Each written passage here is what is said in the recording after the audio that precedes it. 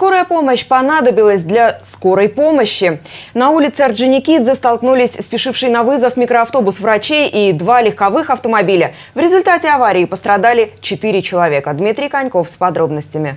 Всех пострадавших доставили в хирургическое отделение Первоуральской городской больницы. Э, После осмотра врачей выяснилось, что у троих пострадавших только легкие травмы, ушибы и ссадины. Именно поэтому их отправили домой. Э, В настоящий момент в больнице находится лишь один пострадавший в этой аварии – фельдшер скорой помощи.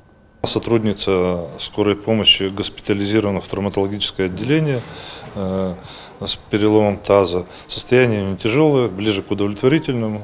Врачи скорой помощи спешили на вызов в поселок Крылосово. На улице Орджоникидзе, вот на этом повороте, э, на перерез машине скорой помощи вылетела Мазда со встречной полосы. Уклониться от столкновения водитель скорой не сумел. Удар был такой силы, что микроавтобус от, сначала отбросило на обочину, развернуло поперек дороги, и он выкатился на встречную полосу, где в тот момент ехал автомобиль «Шевроле». Ну, произошел удар, значит, пр- пр- практически лоб- лобовой. Подушка сработала. Ну, я успел остановиться, конечно, но мне уже не- некуда было ехать.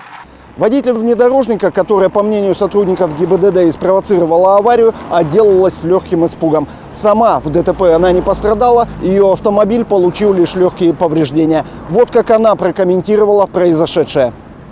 Я не могу объяснить, потому что я почувствовала только удар. На помощь пострадавшим со станции скорой помощи выехали сразу два экипажа врачей. Первый забрал с места происшествия всех пострадавших, второй отправился в поселок Крылосово, куда ехала угодившая в аварию машина.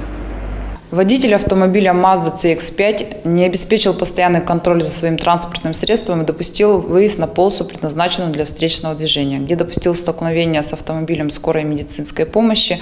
Водитель автомобиля Mazda виновной в произошедшем себя не признает, а потому в ближайшее время она предстанет перед судом.